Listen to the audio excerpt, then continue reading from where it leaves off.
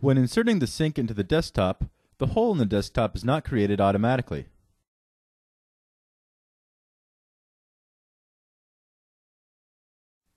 To create the hole, we have to highlight the sink, desktop, and cabinet under the sink. Add to a selection by holding down the Shift key.